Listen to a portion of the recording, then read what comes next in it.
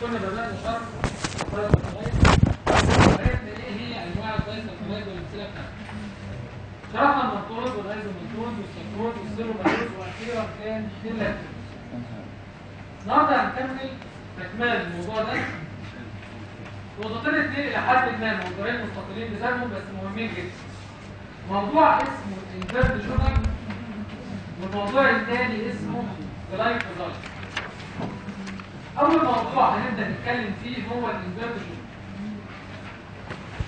بس ما أبدأ أتكلم في ال invert أنا عايز أعمل مراجعة سريعة على الموضوع بالذات كان اسمه optical activity لو استرجعنا كده مع بعض ال optical activity كنا قلنا ال optical activity معناها لو أنا جبت محلول كربوهيدرات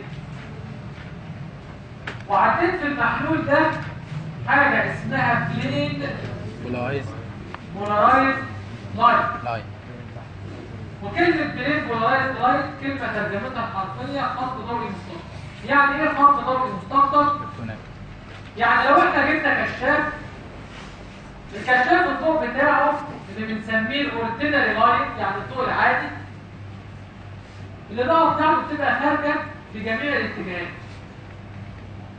لو أنا جيت ورحت جايب بريزم يعني منشور. وحطيت المنشور ده قدام ضوء الكشاف. خدت حضراتكم في الفيزياء إن المنشور من الخصائص بتاعته إنه بيعمل عملية تجميع للأشعة الضوئية دي ويخليها تتجمع في نقطة وتخرج في صورة خط ضوئي واحد.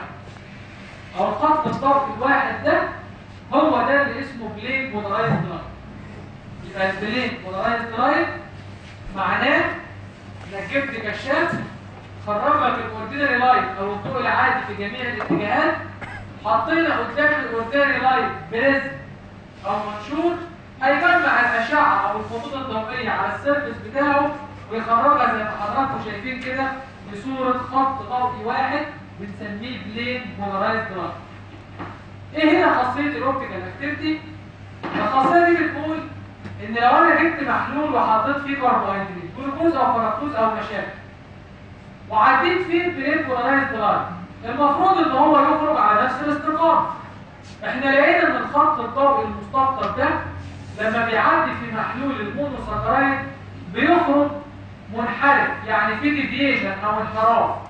إما ناحية اليمين وإما هيخرج منحرف ناحية الشمال قلنا والله لو المحلول ده عمل deviation أو انحراف في ال plane polarized light ناحية اليمين قلنا ساعتها هنسمي المحلول ده dextro rotatory solution. rotatory يعني بيعمل rotation يعني بيعمل انحراف dextro يعني ناحية اليمين باللاتين يبقى اسمه dextro rotatory solution يعني المحلول اللي هيعمل انحراف ناحية اليمين. وممكن ساعتها تطلب للمحلول ده بالرمز d small اختصار dextro rotatory أو بالرمز موجب. كده أو كده. اما لو ال plane polarized light عدى في محلول ال monosaccharide ولقيناه خرج من الناحية الثانية بس منحرف ناحية الشمال قلنا ساعتها هنسمي المحلول ده levo. rotatory solution. solution يعني محلول rotatory يعني بيعمل دوران أو انحراف أو rotation يعني. levo يعني ناحية الشمال بس إيه؟ باللاتين. يبقى levo rotatory solution يعني المحلول اللي هيعمل انحراف ناحية الشمال. وساعتها هنرمز له بالرمز سالب أو هن- هنديله حرف ال L اختصار ليه تمام؟ يبقى خاصية ال optical activity هي إيه؟ هي قدرة المحلول بتاع ال monosaccharide إنه يعمل deviation يعني انحراف في ال plane polarized light اللي شرحناه حالا either to the right يعني يا إما ناحية اليمين or to the left يعني ناحية الشمال.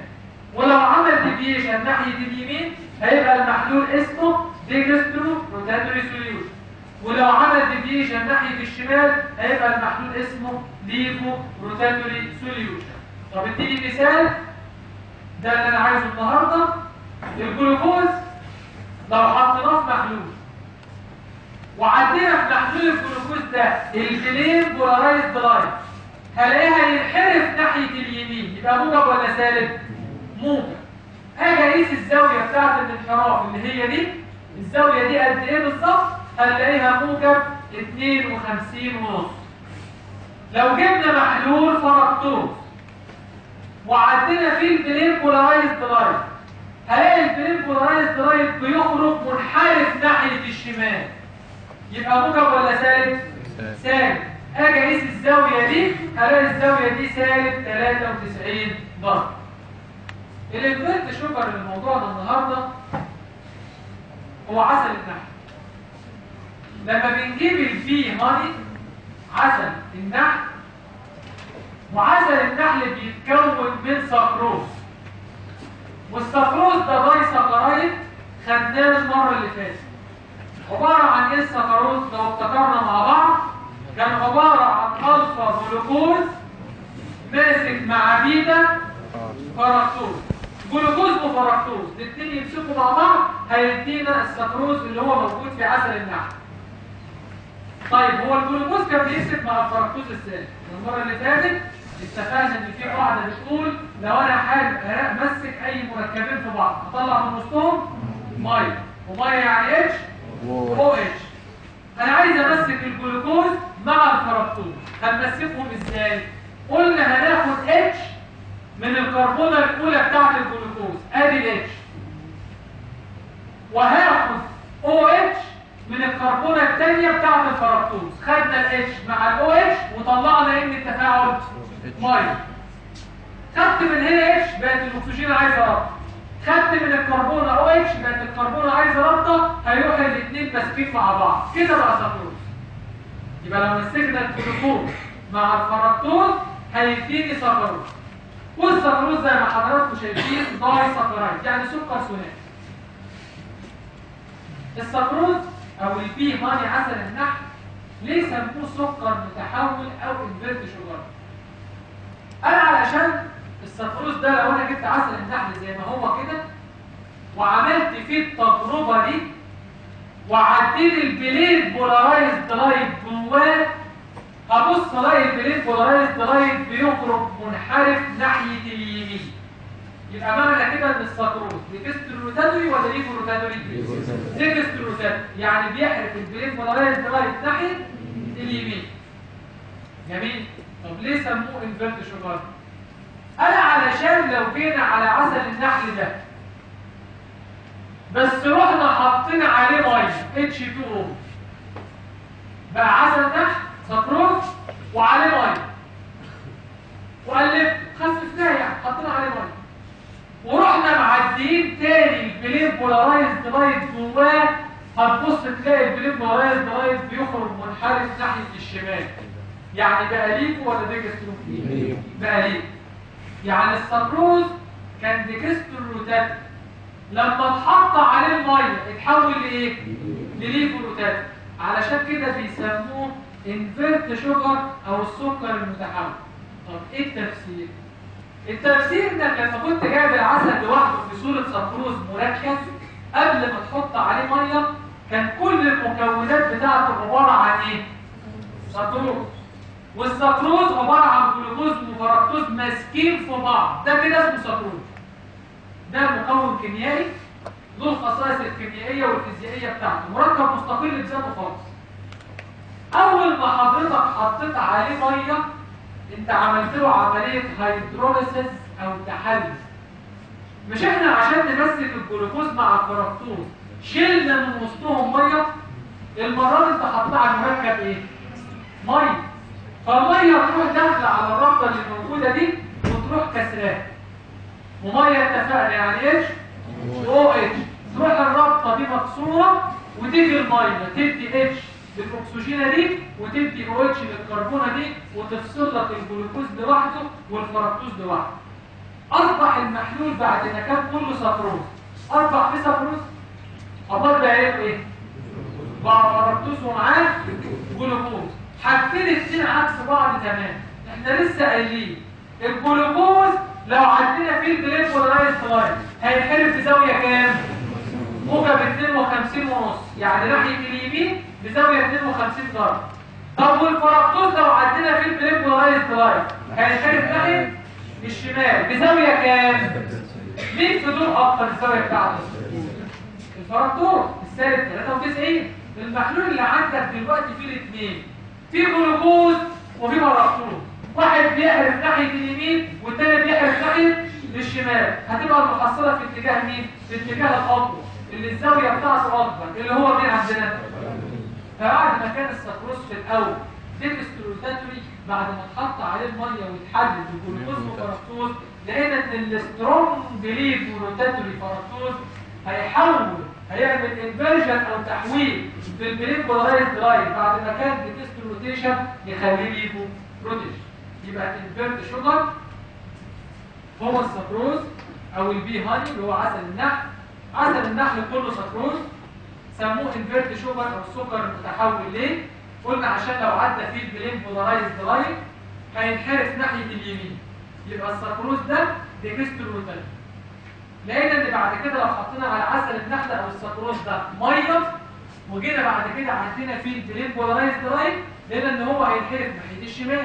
يعني تحول من dextrorotatory إلى levorotatory فيسموه invert sugar طب هو ليه حصل فيه القصة دي؟ ليه تحول من dextro إلى levorotatory قلنا لأن السكروز عبارة عن جلوكوز وفركتوز ماسكين في بعض. السكروز ده كده مادة كيميائية لها الخصائص الفيزيائيه بتاعتها إن هي dextrorotatory لما حضرتك حطيت عليه مية المية كسرت الرابطة اللي كانت ماسكه الجلوكوز والفركتوز. فانفصل السكروز لمكوناته الأساسية اللي هي مين ومين؟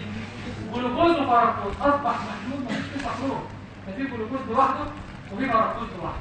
الجلوكوز بيحرف ناحية اليمين موجب 52 والفركتوز ناحية الشمال سالب 93 هتبقى المحصله النهائيه كلها ناحية الشمال. هيبقى المحلول levorotatory السؤال الثاني إحنا شرحنا المرة اللي فاتت disaccharide صح؟ لما شرحنا قلنا السكروز بيحتوي على free aldehyde أو ketone group لا. لا. عشان كده قلنا عليه reducing ولا non reducing. non reducing sugar طب لما يتحلل بقى لجلوكوز وفركتوز الجلوكوز في free aldehyde ولا كيتون في free aldehyde طب والفركتوز في free ketone يعني ساعتها هيبقى في reducing ولا reducing هيبقى reducing هيعمل mutarotation ولا مش هيعمل؟ هيكون osazone ولا مش هيكون؟ هيكون osazone يبقى ال invert sugar بعد ما يحصل له عملية inversion أو تحول هيبقى في free aldehyde and ketone group وبالتالي هيورينا الثلاث خصائص بتوع ال free carbonyl group اللي هو reducing sugar mutarotation وهيكون osazone osazone. ده بالنسبة لل invert sugar أما بالنسبة للموضوع الثاني اللي اسمه glycoside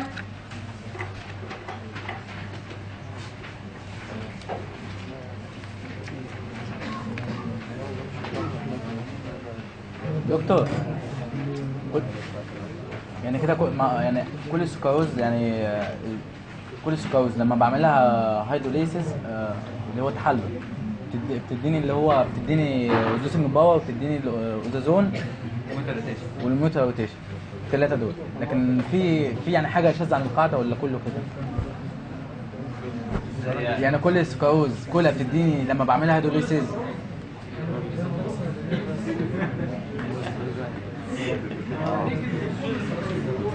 زي الجلوكوز لا صح. معلش يا دكتور لخبطت هنفترض يا دكتور نعمل إيه؟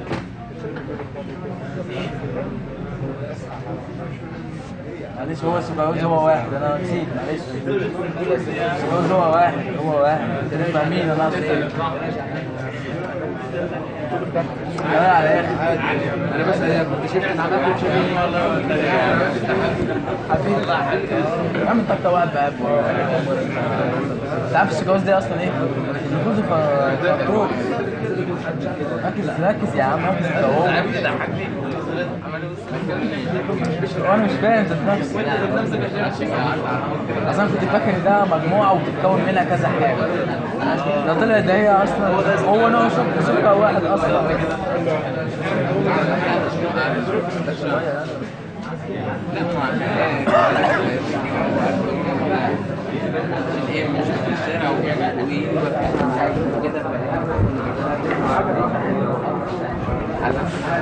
انت عارف لخبطني إيه؟ ها؟ عارف لخبطني إيه؟ اللي موجود في البيت وما أعرفش إيه أنا دلوقتي دي لخبطت عليا فهمت حاجة ثانية خالص باين أنا قاعد سرحان أصلا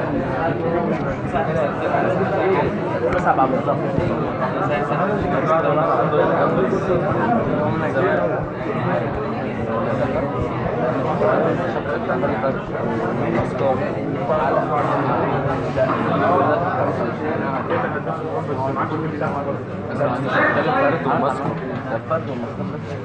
معناها مركب سكري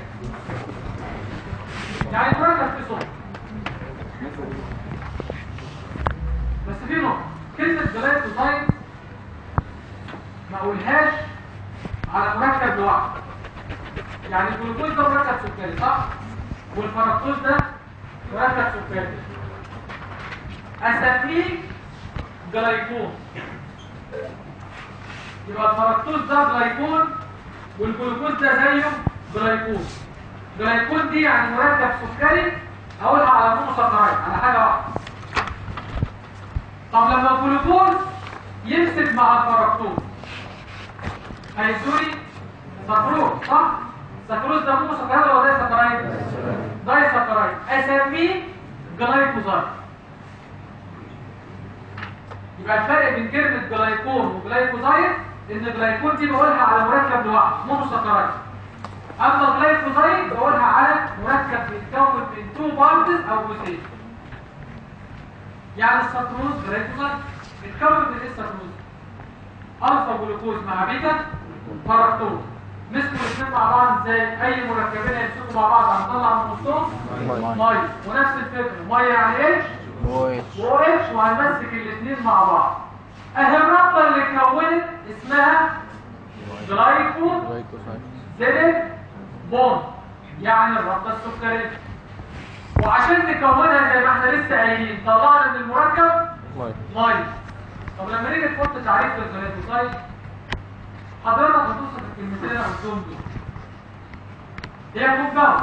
يعني مركبات derived from يعني جت من condensation يعني تفاعل ال OH بتاعت الكربونه الاولى اللي إحنا كنا بنسميها anomeric carbon التعريف ده يبقى جت من ال condensation يعني تفاعل ال OH بتاعت ال anomeric carbon of monosaccharide مع إيه؟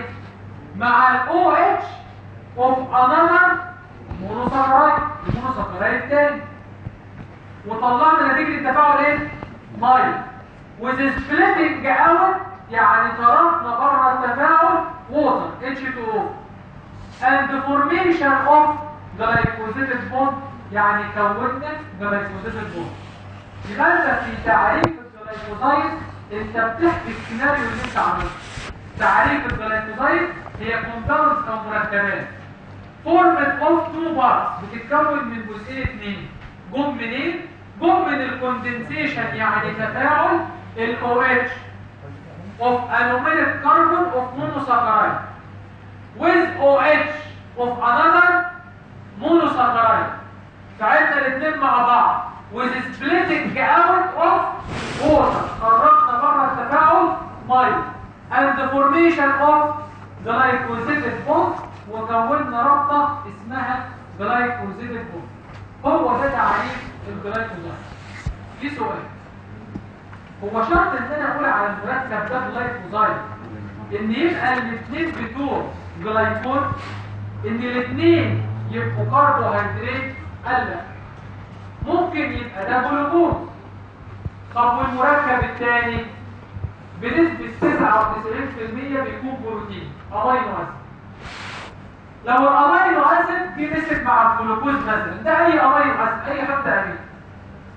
زي ما اتفقنا أي مركبين عايزين نرسمهم مع بعض هنطلع من وسطهم مية. ومية يعني اتش و اتش هناخد الاتش من هنا بقت النيتروجين عايزه رابطه وهناخد ال OH بتاعت الجلوكوز بقت الكربون عايزه رابطة يمسكوا الاثنين مع بعض. طب ده مركب بيتكون من حاجتين اثنين فعلنا فيه ال OH بتاعت ال anomeric carbon مع ال NH2 بتاعت مركب ثاني وبرضه طلعنا مية. هل ده يبقى اسمه glycoside؟ الار ده اسمه glycoside. مركب سكري يبقى نفهم من الكلام ده ان أنا عشان أقول على مركب إن هو glycoside أو مركب سكري يشترط انه يكون بيحتوي على الأقل على واحد monosaccharide أو على واحد glycon أو على واحد سكر جواه. طب التاني؟ يا إما يطلع سكر يا إما يطلع حاجة ثانية والله لو طلع سكر بنسميه إيه glycon طب ولو طلع مش سكر هنسميه aglycon إيه اداه نفي يعني مركب غير سكري. تاني. ال glycoside هي عبارة عن two compounds أو مركبين اثنين formed from اتكونوا من condensation تكثيف ال OH بتاع ال anomeric carbon of monosaccharide with OH of another monosaccharide with splitting out of water خرجنا بره التفاعل مية the formation of glycosidic bond أو رابطه سكريه. السؤال اللي بعد هل بالشرط إن المركبين الاثنين يكونوا سكر؟ قلنا لا لازم واحد فيهم يكون sugar علشان أقدر أقول عليه glycoside أو مركب سكري. another compound المركب الثاني إما إنه يكون sugar وساعتها هنقول عليه glycon يعني مركب سكري يا إما يطلع مركب غير سكري فنسميه aglycon يعني مركب غير سكري طب بصوا لي كده على ال glycosidic bond اللي موجودة في الاثنين دول glycosidic bond دي موجود في وسطها اكسجين ولا نيتروجين اكسجين اكسجين طب دي موجود في وسطها اكسجين ولا نيتروجين نيتروجين. عشان يفرقوا الاثنين من بعض قال لك دي هنسميها O-glycosidic bond واللي هناك دي هنسميها N-glycosidic bond ويبقى المركب كله على بعضه ممكن نسميه O-glycoside وهناك ممكن نسميه N-glycoside معلومه كمان قالها قال بص على السكر الاولاني بتاعك اللي هو ده وده. اللي انت بناء عليه قلت ان ده glycoside يعني مركب سكري اللي انت مسكت في ال anomeric carbon بتاعك لو طلع جلوكوز ممكن نقول على ال glycoside دي glucoside. لأن اللي بيقسم فيها مين؟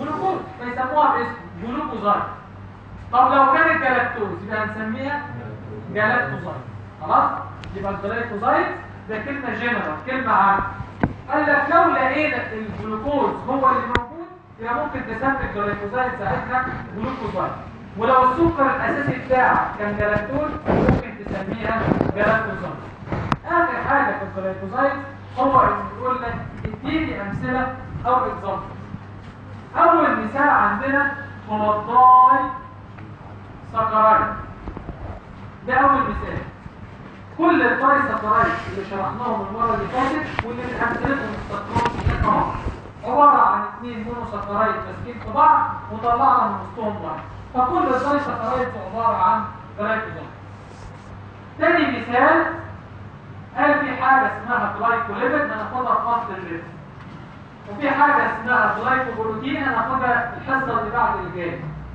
قال ال glycoprotein وال glycolipid عباره عن glycoside واضح من اسمهم glycolipid يعني lipid ماسكه مع كربوهيدرات صح؟ glycoprotein واضح من اسمها بروتين ماسك مع كربوهيدرات. يعني حاجتين ماسكين في بعض فيهم واحد سكر يبقى glycoside ولا لا؟ glycoside لكن تفاصيلهم وتركيبهم هناخدهم قدام.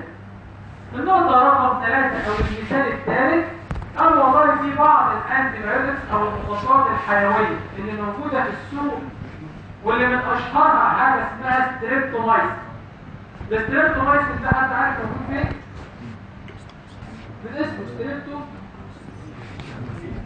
Streptoquin آه هو ال Streptoquin بتاع الإسهال. مع الشعب المصري ال Streptoquin بنطبق مثلا ده لما نيجي نبص لتركيبه هنلاقي ان هو بيتكون من حاجتين اثنين منهم حاجة sugar عشان كده بيحطوه تبع عيلة ال glycoside المثال الرابع حاجة اسمها sugar nucleotide فاكرين إيه هي ال nucleotide من أحياء الثانويه العامه نيوكليوتيدات صح بيسموها كده آه. فاكرين النيوكليوتيدات للأسف. بقى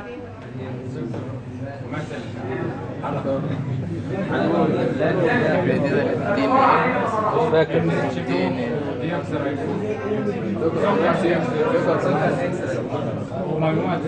احفظوا خلاص يا دكتور اللي كنا بنحفظه نيو كيو كيو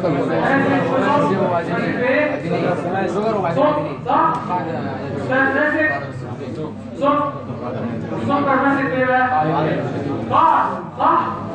بيت قاعدة نيتروجينية بتقولوا كده؟ قاعدة نيتروجينية ماسكة في سكر ماسكة في فوسفات هي دي كانت النيوكليدية صح؟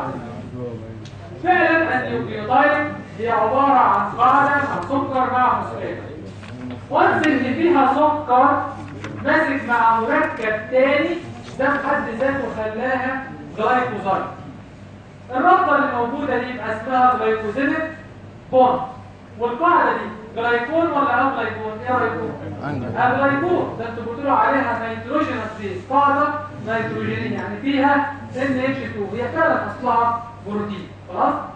يبقى ال sugar nucleotide أو ال nucleotide اللي بتخش في بناء ال DNA كلها عبارة عن glycoside.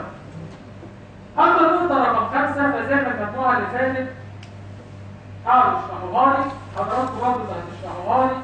في دواء خدتوه في الفسيولوجي اسمه digitalis آه آه أيوه كلهم قالوا آه ومحدش فاهم حاجة بتاعتها أيوه آه دي بقى أنا عايز اللي بعدها إيه هو ال digitalis بيعمل حاجة في ال nerve حاجة في الناس sodium potassium pump جميل صح ده دواء بيعمل inhibition على sodium ال sodium potassium potassium pump إيه النتيجه بتاعته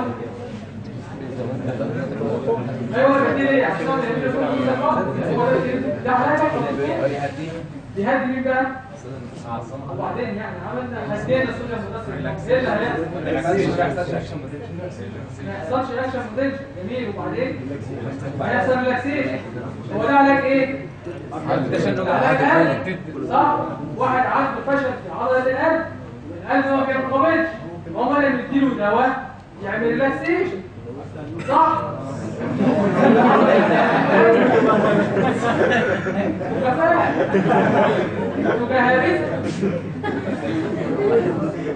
ال digitalis اسمه بالسوق Lanoxin اسمه إيه؟ Lanoxin هتفرق معاك ال Lanoxin أو ال digitalis ده دواء بنديه للعيانين اللي عندهم فشل في عضلة القلب وماذا نعني بكلمة فشل في عضلة القلب؟ ما بتعملش action. potential تمام. حاجة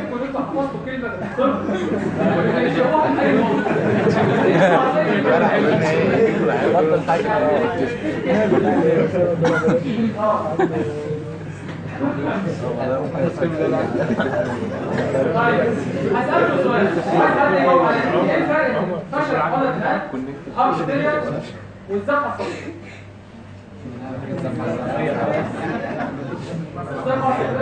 فيها اكشن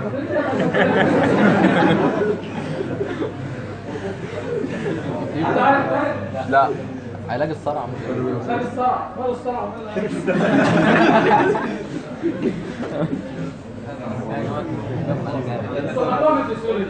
لا لسه لسه ما دخلناش في ال cardio إحنا خدنا ال digitalis بس لا إيه بقى مش فاكرين اتكلم عن اتكلم عن نفسك لو سمحت. إيه هو ال digitalis لا خلاص الفشل في عضلة القلب هو على الفرجة إن هو فشل في اداء وظيفته. لما ما يقدرش يقوم بالوظيفة اللي ربنا عامله عشانها وظيفة القلب إن هو ينقبض علشان يضخ الدم اللي جوه صح؟ لو القلب حصل ضعف في عضلته وما قدرش إن هو يعمل contraction دي اللي إحنا بنسميها heart failure القلب فشل إن هو يقوم بوظيفته لكن الذبحة الصدرية عضلة القلب قوية وشغالة لكن الشرايين التاجية اللي بتغذيها هي اللي فيها دي أو في فيها غلطة أمالتها فكمية الدم اللي بتغذي القلب مش كافية. فالقلب مش قادر إن هو يقوم بوظيفته أو لما يجي ينقبض مفيش دم بيغذي مفيش أكسجين مفيش غذاء بيحس بآلام الذبحة في الصدرية. فالذبحة الصدرية دي مشكلتها في الشرايين التاجية مالهاش دعوة بيها خالص مالهاش دعوة بال action potential ولا أي حاجة خالص. أما ال heart failure ده فشل في عضلة القلب عضلة القلب ضعيفة جدا مش قادرة إن هي تعمل contraction فإحنا هندي دواء محمود عشان يزود ال contraction مش يعمل relaxation تمام؟ الدواء ده فكرته في إيه؟ فكرته إن ال sodium potassium pump بتاخد الصوديوم تخرجه بره الخلية وبتدخل مكانه البوتاسيوم أنا هعمل inhibition على ال sodium potassium pump فالصوديوم مش هيخرج ويفضل موجود فعلا جوه عضلة القلب. علشان أنا عايزه يفضل موجود لأنه لما هيفضل موجود هيحصل الكلمة اللي أنت عاوزينها في الطب اللي هي Reaction. potential، فيحصل contraction في عضلة القلب وأنا كده زودت ال contractility بتاعت القلب. لكن لو أنا سبته من غير الدواء ده الصوديوم هيخرج وهو أساسا عضلة القلب عنده ضعيفه الشق اللي يخصنا إحنا واللي شرحنا عشان ال digitalis ال digitalis ده دواء بيستخدم في ال treatment of heart failure لما جينا نبص على تركيبه لقينا إن هو عبارة عن سكر ماسك في حاجة. ومعنى انه سكر ماسك في حاجة أقدر أحطه تبع عيلة glycoside بس الحاجة اللي ماسك فيها دي glycone ولا aglycone ال aglycone يعني مركب غير سكري اسمه steroid. ال steroid دي نوع من أنواع ال lipid. هناخد تركيبها بالتفصيل وقصتها ولا حواديت طويلة معانا في chapter ال lipid إن شاء الله. تمام؟ كده أنا خلصت ال glycoside وخلصت ال pure sugar. أنا بس كلمتين صغيرين وعشان الحصة اللي جاية. إحنا هنتكلم بعد كده عن ال polysaccharide وال polysaccharide معناها أكثر من 10 وحدات من السكر ماسكين في بعض. لو هم بقول كلمتين استحملوهم ال polysaccharide معناها أكثر من 10 وحدات من السكر. يعني 20 واحدة مثلا 30 40 أنا عندي احتمال من اثنين يا إما وحدات السكر دي تطلع كلها شبه بعض. يعني مثلا عندك 20 وحده جلوكوز كلهم شبه بعض. ده polysaccharide العشر وحدات كلهم شبه بعض يعني homogeneous homogeneous يعني إيه؟ متجانس أو متشابه أو متماثل هيقوموا يسموا دول homopolysaccharide homo يعني متماثل يعني ال polysaccharide المتشابه يبقى poly يعني أكتر من 10 وحدات من السكر ماسكين في بعض. لو طلعوا كلهم شبه بعض هسمي النوع ده من ال polysaccharide homopolysaccharide يعني متماثل يعني كلهم شبه بعض. أو ممكن يسموه homoglycan يعني سكر متماثل برضه. يا إما الاحتمال الثاني وحدات السكر دي بتاعت ال polysaccharide تطلع مش متشابهة. يعني تطلع heterogeneous heterogeneous يعني متناقضه أو غير متجانسة أو غير متشابهة. يعني عندك سكر فيه 20 وحدة يطلع 5 جلوكوز على 5 فركتوز على 5 جلوكوز على 5 جلوكوزامين مخلطين. أهو ده نوع من ال polysaccharide لأنه heterogeneous هيسموه heteropolysaccharide أو heteroglycan يعني ال polysaccharide الغير متجانس اللي وحدات السكر بتاعته مش شبه بعض. الحصة اللي جاية أنا هشرح أنواع ال polysaccharide أنا خليت احمد ما رضيتش أبدأ النهارده انت كنت هقول كده فأنا لازم كلهم يتحطوا مع بعض في جدول مقارنه هنقول الجلايكوجين والستارش والسيلوز والفايتين والانجلين والديكسترين عشان نخلص ال polysaccharide إن شاء الله. بصوا يا جماعة الحصة اللي جاية أنا حاطط أنواع ال polysaccharide في صورة جدول. لأن سؤالهم لما بيجي لك في الامتحان ما بيجيلكش انك تتكلم عن الجلايكوجين لوحده ولا ال starch بيجي لك السؤال كل سنة. compare between قارن ما بين سنة يجيب ال disaccharide اللي أنا شرحتها الحصه اللي فاتت. قارن ما بين اللاكتوز والفركتوز الفركتوز وال cellobiose والسكروز واللاكتوز الدور اللي بعده على طول الناس اللي هتجيلها أو يجيبوا السنة اللي بعدها قارن ما بين ال glycogen وال starch أو ال starch وال cellulose ده كل سنة. يعني ده سؤال نظري مطلوب في جيبك انت داخل معاك جدولين واحد منهم جاي في الامتحان مش كده كده الاسم لأنه سالتهم تحت بعض. مش حاططهم في صورة جدول مقارنة. على حاططهم في صورة جدول هتطلع النقط اللي هتقارن بينها بالظبط عشان ما تنساش حاجة في الامتحان الجدولين دول من الامتحان نصورهم نصورهم نصورهم مستعد. ليه؟ سؤال الاثنين جاي من الامتحان يكتبوه ماشي؟ يبقى ال disaccharide ده سؤال جاي إن شاء الله. يا هو يا المقارنه ما بين أنواع ال polysaccharide الجزء الاولاني خالص chapter الكربوهيدرات لحد ال disaccharide كل ال polysaccharide بالخصائص بتاعتها ال chemical و physical الكلام ده كله عمره ما بيجي في امتحانات الاسئله ده نصيبه في الامتحان MCQ فقط اسئله اختياري يوم ما يحب يعني ضغط عليك شوية يجيب لك تعريف عرفت ال anomer عرفت ال anomer إيه هي ال optical activity.